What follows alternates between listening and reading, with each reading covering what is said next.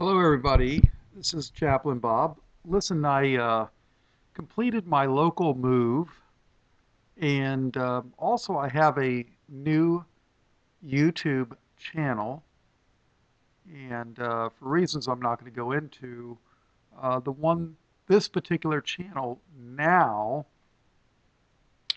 it's uh, getting rather large.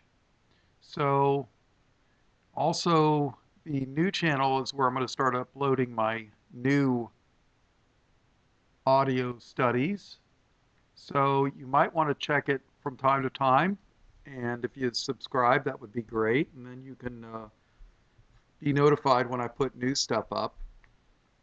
I do have one study that's already on this channel, plus I have a new study that's not on this channel. So if you're interested, you can check it out. So thank you for your prayers. And uh, I'm uh, going to do my next study. It's going to be on the dual nature of Jesus, who is the Christ. Is he man? Is he God? Is he both? Actually, what's interesting is he has attributes of both. Now, one of the things about, like, for example, the Jehovah's Witnesses, they will point out only the human attributes of Christ and say, see, see, this proves that he was, you know, he's, he's a man. Well, actually, they teach he's Michael the Archangel, but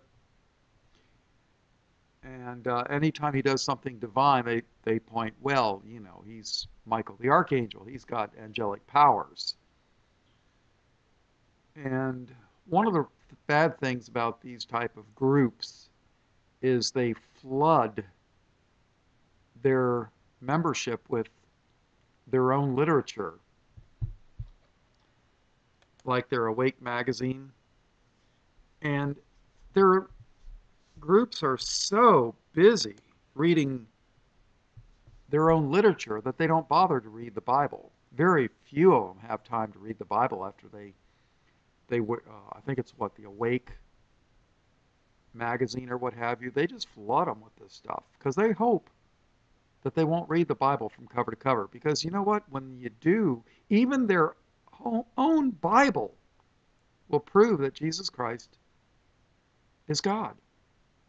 Because the Bible will say God created all things. And then the Bible will say Jesus created all things. Well, if God created all things and Jesus created all things, guess what? Jesus is God in the flesh. But they'll show him, oh well, see, Jesus prayed to the Father, so he's he's not God, he's a man. Would God pray to himself? But then what they do is they divine, um, deny the Godhead.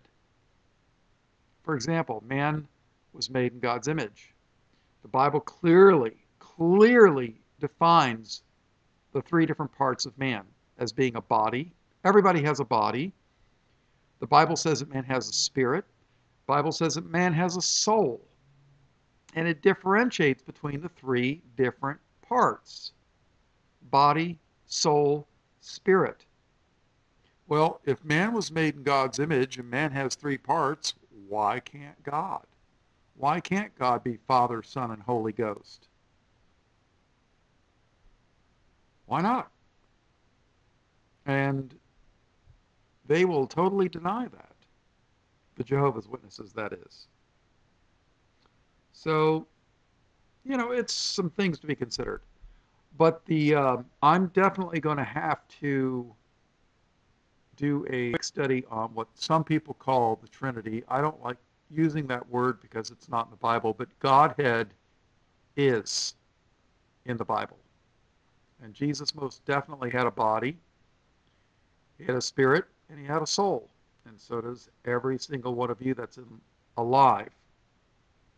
So, okay, well, click on the link below and check out the new channel.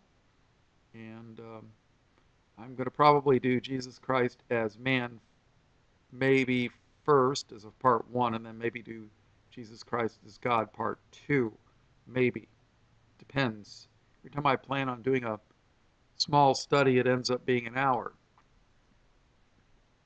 So, and what's interesting is that I just barely cover the basics.